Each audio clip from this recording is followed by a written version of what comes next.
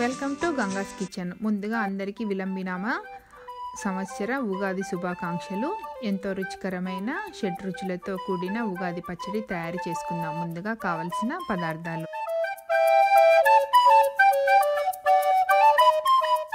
ఒక కొత్త కుండ తీసుకొని అందులో ఒక చిన్న బౌల్ నిండా మామిడికాయ పీల్ చేసి చిన్న చిన్న ముక్కలుగా కట్ చేసి పెట్టుకున్నాము.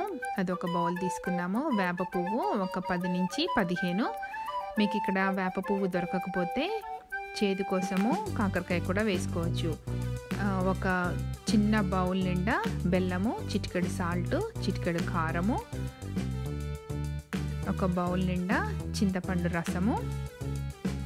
ఇవి మనకు షడ్ రుచులు వచ్చేసినాయి. ఇవి ఆప్షనల్. మీకు జీడిపప్పు కొంచెము బాదం పప్పు కొంచెము కిస్మిస్ కొంచెము. ఇవి కావాలంటే వేసుకోండి లేదంటే షెడ్ రుచులతోటే ఊరుకోవచ్చు. మనకు కావలసిన షెడ్ రుచులు మామిడికాయ వేప పువ్వు బెల్లము సాల్టు కారము చింతపండు. ఇవి మనం తయారు చేసుకోవటానికి కావలసినవి. అంతా చక్కగా కలిసేటట్టు కలుపుకొని చాలా రుచిగా ఉగాది పచ్చడి తయారు చేసుకొని ఈ సంవత్సరం అంతా సంతోషంగా గడపాలని కోరుకుంటూ ఉగాది శుభాకాంక్షలు.